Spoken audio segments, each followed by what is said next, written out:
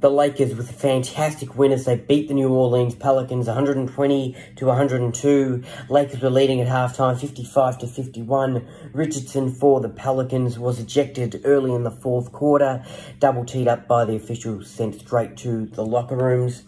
The Lakers, I thought, started this game off really well. They had some great defense, great plays. It was the Lakers I want to see on a consistent basis. There was energy, there was effort. They were working as a team.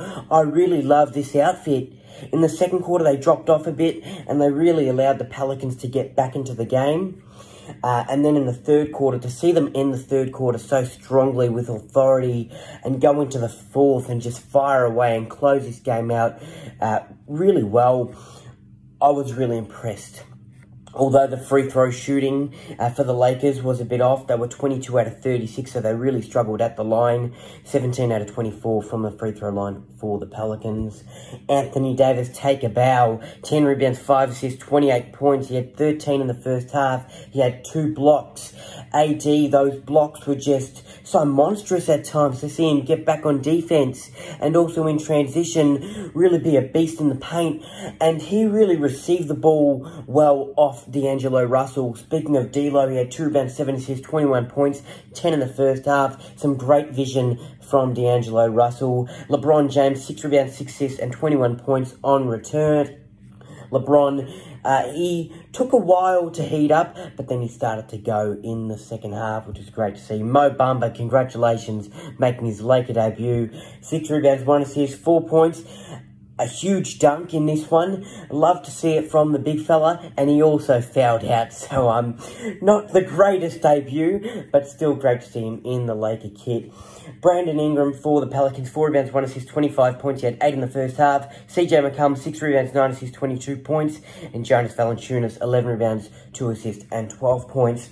So, Lakers, a really great win, a great result to end the first half of the season. We're heading into the All-Star break. We look at this first half of the season. Well, we've been struggling on the defensive end. And in this game, at times, I saw the defense uh, working really well. And it was D'Angelo Russell, it was Anthony Davis, it was Jarred Vanderbilt getting back on D.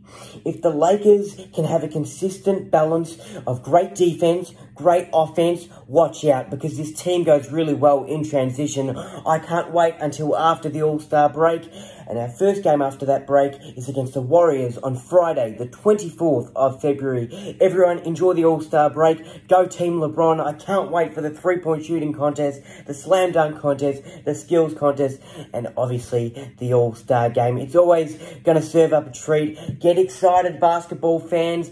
And for all the highlights, stay tuned on my Instagram page for all the All-Star break highlights. Go Lakers!